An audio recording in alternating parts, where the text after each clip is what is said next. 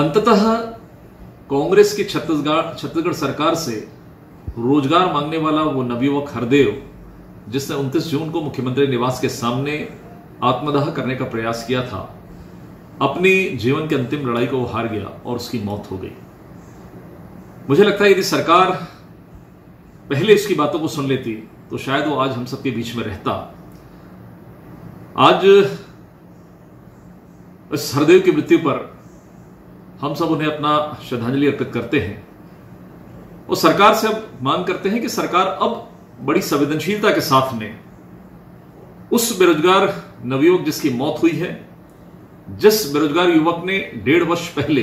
कांग्रेस के जन घोषणा पत्र में अपने सपने को देखा था कि शायद उसको नौकरी मिलेगी, शायद उसको बेरोजगारी भत्ता पच्चीस सौ रुपए मिलेगा, लेकिन उसके विश्वास ने दम तोड़ा, उसने स्वयं दम तोड़ दिया। अब सरकार उसकी भावनाओं का सम्मान करते हुए उन्हें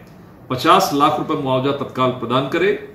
और उस परिवार से, जिस परिवार का साया,